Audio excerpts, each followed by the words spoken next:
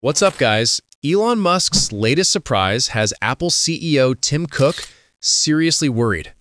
Why? Because the brand new iPad Apple just launched might already be in trouble. The reason is simple. Elon Musk is about to drop the Tesla Pi tablet way sooner than expected.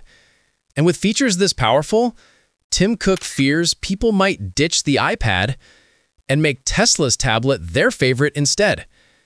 Now, you're probably wondering what makes this tablet so special. Well, this isn't just another gadget. It's the control center of the entire Tesla ecosystem. But before I reveal the crazy specs, make sure you hit that subscribe button and smash the bell icon. Because the bell is what guarantees you'll get instant updates every time we cover Tesla's game-changing products. All right, let's get into the Tesla Pi tablet.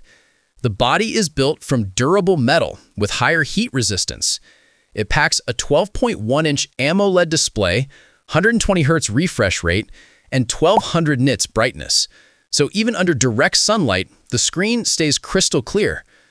Under the hood, it runs on Tesla's custom processor designed for lightning-fast AI commands.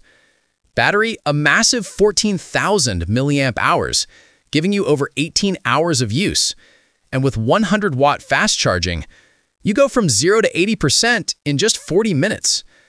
Storage starts at 256 gigabytes, with Tesla Cloud Sync ensuring ultra-fast transfers. For connectivity, it's powered by Starlink satellite internet, so whether you're in the desert or up in the mountains, you'll still stay online with just 20 to 40 milliseconds latency. It boots on Tesla OS, taking only 3 seconds to start with no ads, no bloatware, just pure performance. From the tablet, you can remotely control your Tesla car, adjust the AC, check cabin camera feeds, or even command the Optimus robot using voice or gestures. Plus, it syncs in real time with your Powerwall and solar panels, putting your entire smart ecosystem right at your fingertips. So here's the big question. Is this really just a $157 tablet? Or is it the missing piece in Elon Musk's master plan that could redefine the entire smart device industry? What do you think? If you believe this could actually beat the iPad, type 1 in the comments. If you think it's just hype, type 2.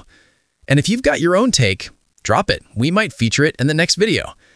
And once again, if you don't want to miss the next big Tesla update, Make sure you subscribe right now and hit the bell icon, because without that bell, you'll miss what's coming next.